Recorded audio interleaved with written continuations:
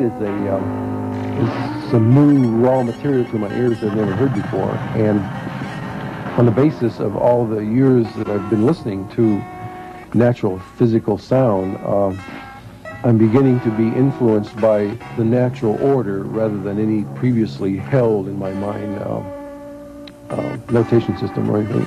Even though I'm influenced, obviously, by all the historical precedents that I've had in terms of sound, sound preferences and all that. You can't escape that, but I, uh, I find that all those sort of escape me when I'm deluged by nature.